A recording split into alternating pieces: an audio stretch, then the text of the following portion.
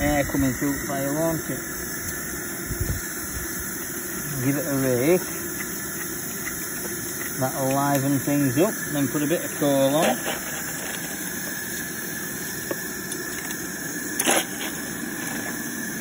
Extra water in the good.